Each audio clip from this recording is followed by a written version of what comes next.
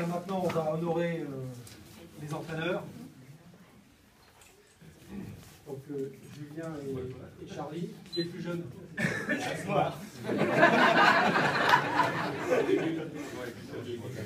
Julien, merci.